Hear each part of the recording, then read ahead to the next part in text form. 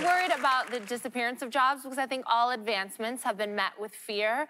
The printing press and cars and industrial technology, everybody thought that it would make their job obsolete, but actually created more jobs. There are jobs now that didn't used to be jobs. Like a life coach used to just be like some aristocratic lady who was bored. And you could be a parkour specialist now. That did not exist before. No one from my high school ever said, I want to grow up to work in a cat cafe. Like, we didn't have those jobs.